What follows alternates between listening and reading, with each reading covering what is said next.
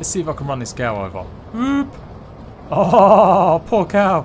Hello rat it's Jade. Welcome to an Unturned guide today. I'm going to show you guys the cheat menu. Now it's pretty obvious how to use the cheats in Unturned, but you never know, you might have missed it. So I'm going to show you how to access the menu and then I'm going to show you guys how to make the game easier. Maybe you don't want to spawn stuff in, maybe you just want to reduce the zombies, maybe you want to make it a bit easier to regenerate your health, or you want to be able to spawn in loads of loot. I'm going to explain every single one of the most important settings. So make sure you like, make sure you subscribe for the best in survival games content. Go and check out all my other content I've done over the years. Every survival game going. Let's go. Alright, it might seem pretty obvious, but if you go into play offline and then you decide to choose whatever world it is you want, click on the map and then press, obviously, cheats yes. So, how do you cheat? Well, it's already in the control menu, guys. But just in case you'd missed it, it's literally press the L3 and R3 joysticks together. And that's it, it brings it up. And you can see it's broken up into items. It's not broken up very nicely. You literally have to scan through a bunch of stuff. It's all sorted out by its ID number. And that means that some items will be miles away from where they maybe should be alphabetically or even about what they do. Generally though, you will find a lot of things like sweatshirts altogether, backpacks too. Just click on one and you can see now I've got a backpack. Who wants some chainsaw action? You can even spawn in vehicles. Be careful though as it tends to land almost in front of you. So if you do want to kill a friend or a mate, you can go ahead and do that and have a bit of trolling fun. And there we go. I've got my scavenger flatbed truck. Whoop! And here we go. Now you can get ammo for this, but to be honest, I don't want to have to search through the list looking for the missiles. But you can switch gun positions and then normally, like I said, once you find the actual ammo, you should be able to fire. Let's do one more vehicle. What's a Cerberus when it's at home? Oh, it's a missile thing. Hey, we've got ourselves a Dune buggy. And the big piece de resistance, the Chinook. Where you can literally get your friends inside this too. Go ahead and even spawn in loads of different creatures. Although, to be fair, there's only a few. There we go. We've got our cow. Now let's go over the settings. Go to world options and you've got a bunch of stuff going on. Effectively what I'm going to do is give you a brief tutorial or some of the key ones you need to know to make your experience a bit more fun. So if you want to just survive in a world where there's loads more loot, put that all the way up to 1. You can see loot is absolutely everywhere and that's because we increased the maximum amount. If you don't want things running out, say you just want to have to keep one axe, not have to keep replacing it, then make sure this box is unticked. If you want items to respawn quicker, you actually got to make this number a little bit smaller. If you want to get the best quality items to see what they can offer, then you've got to put this one all the way over to the top. Stick it on the right hand side. Likewise, put the multiplier on the right hand side too. Now you get the idea for most of them, it'll probably be along the same lines. For vehicles, you can see it's already set to 1, that means that every vehicle will have a battery. If you want to increase the battery life, you can do that as well and you can also increase the back, max battery charge. So if you want vehicles to respawn more often, you need to make that number lower. It's the time it takes for the vehicle to respawn. This isn't actually a multiplier. And that's pretty much true of everything. If it says time, that will be reducing the time it takes. If it doesn't mention time, then that's just going to multiply or reduce how long something happens. That's a crucial difference. If you want more zombies in the world, because it doesn't have time, you're going to increase it all the way to the right hand side.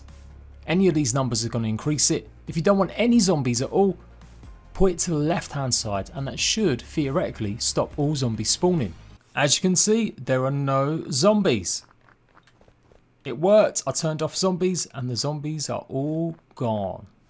I can now get used to the game, go looting, find the best spots, see what map I like the most, and not have to worry that I'm going to get my face eaten off. If you want greater loot chance, you're going to put that all the way to the right hand side. If you want certain zombies to spawn, then you need to increase these exponentially. If you want to experience some of the bosses a little bit more frequent, then go ahead and put that all the way to 5.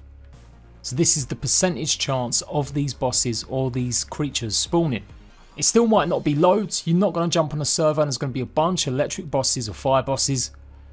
But now you have got double the amount of percentage chance for them to spawn. Now one that people will get wrong is zombies damaging you. I've done this thousands of times in Ark Survival Evolved and Conan Exiles. It's exactly the same sort of server settings set up and they're some of my most popular videos. So trust me when I say put this as low as you can if you don't want zombies to hurt you that much.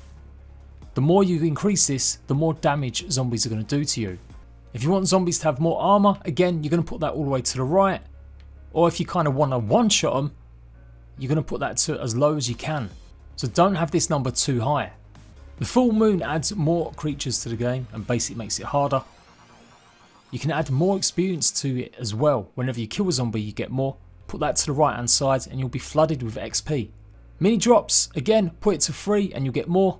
Put max drops to 6 you'll get loads. And likewise max mega drops do that too. I've not seen a lot of animals respawning in the game. So I'm going to go ahead and reduce this to the left hand side. Remember this is a time one. So we want to get more animals on the servers so we reduce the time it takes for them to respawn. If we want to put more damage for the animals that they do then you increase that to the right hand side. If you never want your barricades to run out or be really slow then you put that to the max on the right hand side. If you're running the server and you want people's bases to kind of disappear if they're not playing regularly then you put that a little bit lower. If you don't want any bases to have any armour, put that to the left. Increasing it to the right hand side pretty much means some of them bases are going to be unpenetrable. Same thing for structures. Now I said bases but I did mean barricades. It's the same thing for structures. Right, player health. This is the one that really you can start cheating. If you just want to get used to the game a little bit more, almost like creative mode, your health regenerates when it's above 90% food and water, but you can reduce that you can put it all the way down to literally zero. So your health will always keep regenerating.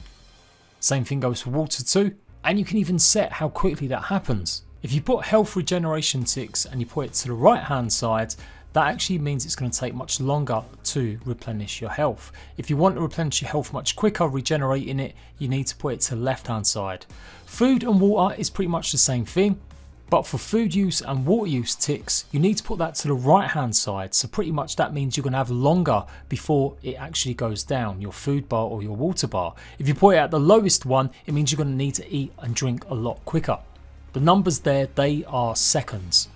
So if I leave food use at 450, that means it won't go down that quickly. It'll take 450 seconds for my bar to go down by one. And now I've put it down to 50 that means that food use I'm gonna lose a bar of food every 50 seconds.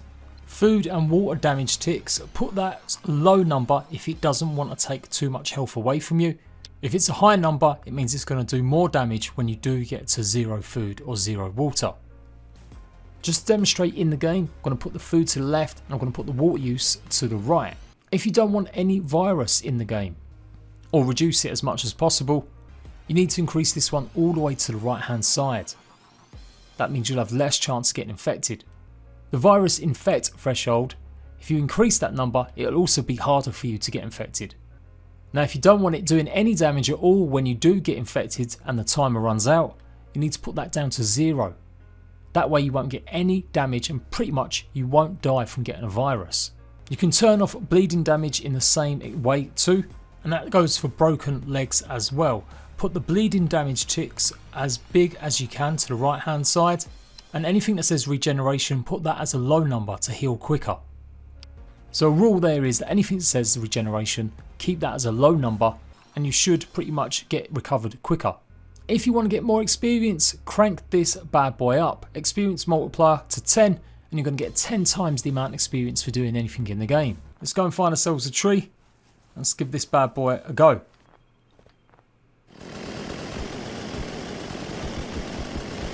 And there we go, 40 experience, remember, because I put the experience all the way up. If you want to increase the radius that NPCs can detect you, well it's pretty much set at its lowest setting, but if you increase that, they'll pretty much come running at you a lot quicker. So effectively you're making it harder by putting it to the right hand side. That also applies to players on servers as well. Now I've put my items on the left hand side here so basically lost items on combat and environmental that means I will lose every single item I have when I die from either environment or combat so if you want to keep them put it as 1.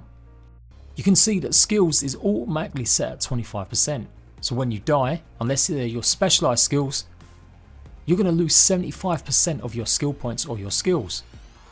But you don't have to have it like that. If you put it all the way to the right hand side, you won't lose any skills when you die. And then you can see things like can hurt legs, break legs. You can turn this on and off. Likewise, you can turn on how often you get fuel. So put that number even lower and fuel respawn even quicker. Same thing goes for water, rubble, and all the resources. If you don't want it to rain ever, put both these numbers to zero. For the max rain one, you, you want to put that to five. And that's going to pretty much reduce how many times it could possibly rain. It's the same thing for the snow as well. And lastly, gameplay. If you want to see yourself on the map, make sure you've got the satellite available. And if you do want to see a compass too, click that as well. And that is pretty much how you cheat with the settings in Unturned. As I said, I've done loads of these videos. They're some of the most popular in Ark and Conan, and they're more or less the same thing. If you guys really want me to explain more in detail every single setting and show you some examples a little bit more, then let me know. Right, let's try it out. So you can see I've got the compass, obviously that has worked. Normally water goes down a lot quicker than food. We can see my food's going down a lot quicker than water because we left them settings like that. And if we take a look at our information, you can see right in the bottom right hand side, a little blue dot. That's me. So it does work, it shows you exactly where you are on the map. Obviously really useful if you're playing with your friends and just want to meet up. And there you go, that's how you cheat in Unturned. I hope you find this video useful.